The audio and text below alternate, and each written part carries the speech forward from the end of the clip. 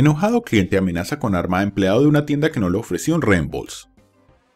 El caso de una atraco mano armada en una tienda de videos para adultos tiene a la policía de St. Paul, Minnesota muy confundida. El 23 de diciembre, un cliente enfurecido amenazó al empleado de la tienda. El cliente le dijo que compró una bomba para alargar su hombría en la tienda, pero que no funcionaba según lo prometido. El cliente deseaba su dinero de vuelta, pero el empleado le informó que la bomba había sido utilizada y no habría reembolso. Así que el cliente sacó un arma de fuego y comenzó a amenazar al empleado. Después de una corta pelea, el sujeto salió de la tienda sin disparar. El empleado no proporcionó a la policía una descripción del atacante y la policía no tiene sospechosos.